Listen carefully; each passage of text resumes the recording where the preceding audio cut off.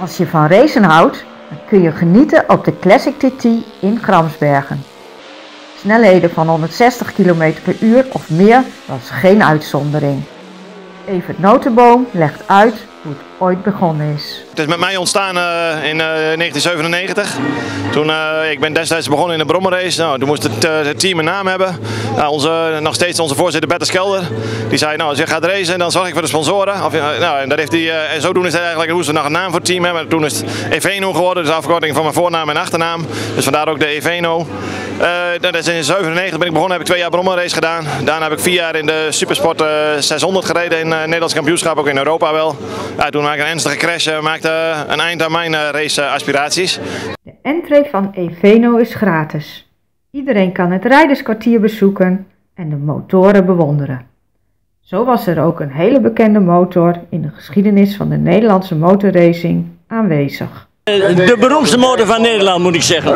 Dit is uh, Yamaha waarin, waarop Jack Middelburg in 1980 de GT won in Assen de 500 cc. Dus uh, dat is een hele unieke motor. En het is een geweldige eer voor mij om daarop te mogen rijden. En uh, ja, ik heb zelf uh, nou, bijna 50 jaar geleden gereisd, maar men vond dat ik er een keer om mocht, mocht rijden, dus dat is geweldig.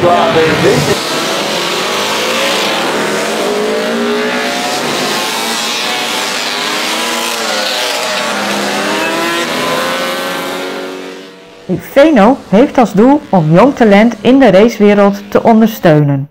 Maar vandaag doen vooral ervaren coureurs mee, zelfs vrouwen.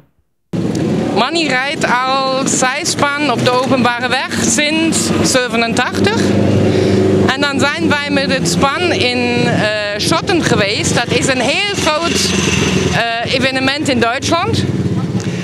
En daar kon ik een uh, taxi rijden twee rondjes om de circuit in een span. En dat heb ik gedaan. En dan kwam ik terug met zo'n grote glimlach. En dan zeg ik, ik wil ook.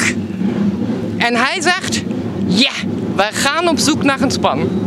En dan hebben wij twee jaren gezocht. En dan zijn we 2005 begonnen. Voor de liefhebber van snelheid en races was het genieten die dag.